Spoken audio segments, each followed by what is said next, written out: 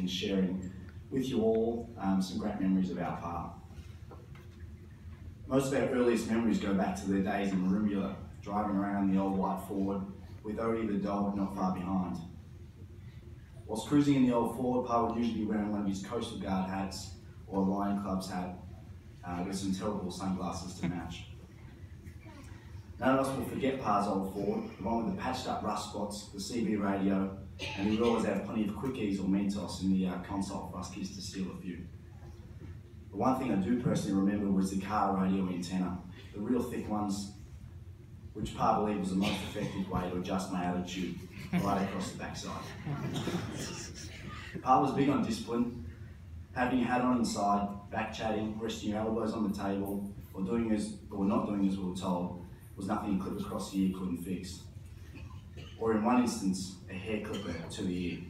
Pa was always reminding me that curly hair was for girls and that I should cut it short. So one day he insisted I had a cut there and then. And in his endeavour to cut to give me the number one all over, and me squirming to avoid it, he clipped the top of my ear. We all still love the old days, heading off with Nan and Odie down the beach. I think dust has got me too, guys. And we head down there for some Weet-Bix and coffee, Odie's favourite, of course.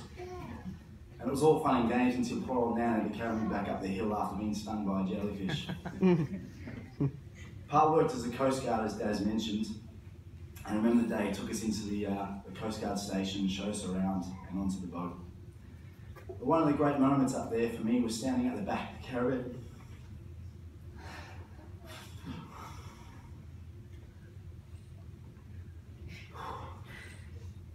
Where there was a viewing platform, we watch the boats go by with the binoculars while Pa explained to me what each of the ships were.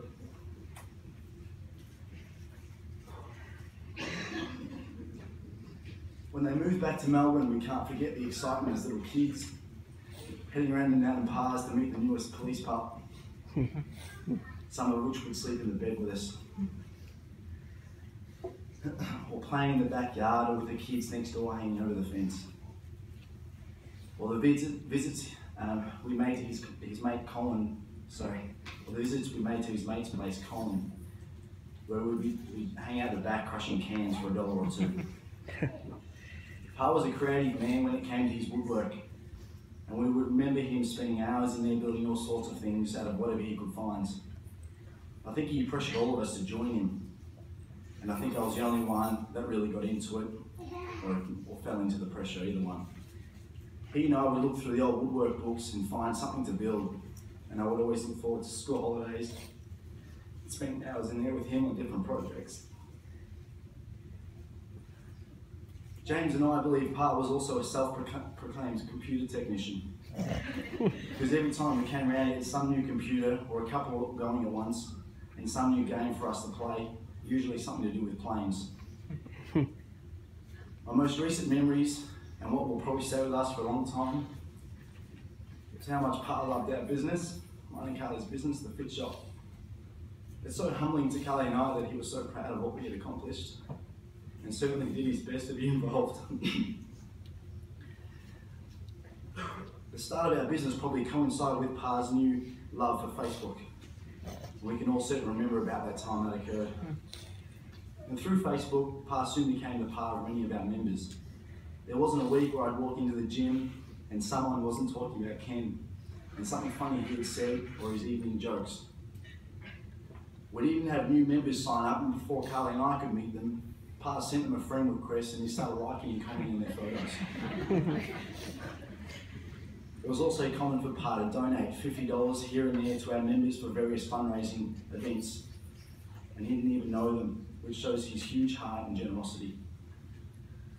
And even with his sometimes inappropriate comments, the members have accepted Pa as their own, and I know many of them feel that they have lost a family member too, which is proven by the fact that some of them are here today with us.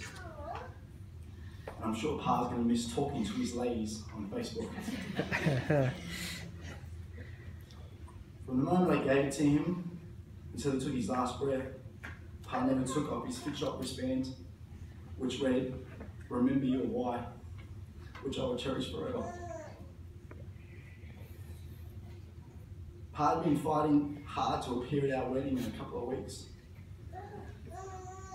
And although it would be very sad not to have him there, or at any other significant events in our future, we are so grateful for all the memories and great moments we have shared with him up until now, which we will certainly hold on to, and we know he'll be there in spirit. Thanks everyone.